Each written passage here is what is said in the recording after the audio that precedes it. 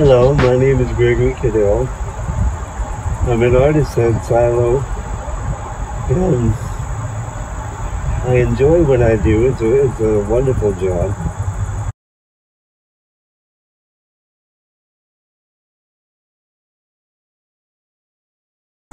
I like to think that I make people believe that they can be transported somewhere that maybe they never seen before through my paintings.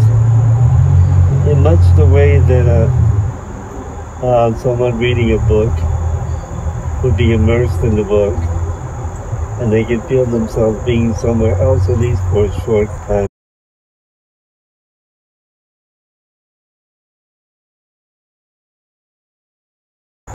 I started drawing before I literally learned how to talk. Uh, being disabled all my life, uh, early on it was the only way that I could communicate.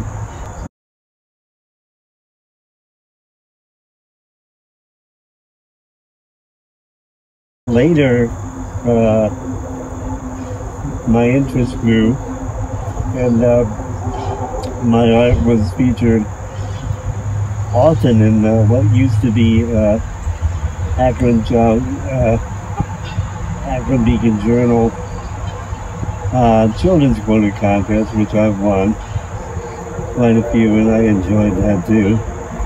Um, my interest has always been about landscapes, um, prehistory, ruins, uh, things that project a place and a time. Often my paintings have uh, what I consider sarcastic titles.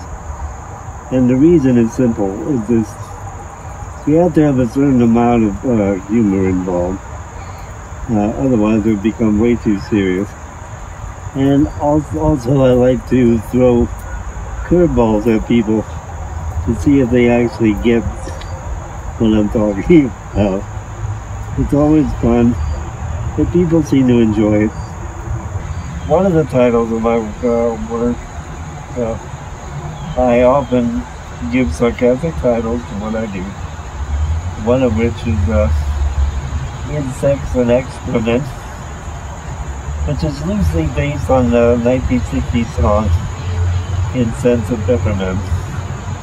But you can kind of sense that it kind of goes along with that song wise. The other one, also song related, uh, I had a dinosaur eating another dinosaur.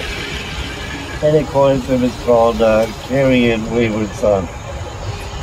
And I enjoy things like that. Again, it gives it gives a sense of uh, levity to what ordinarily would be a heavy, heavy subject.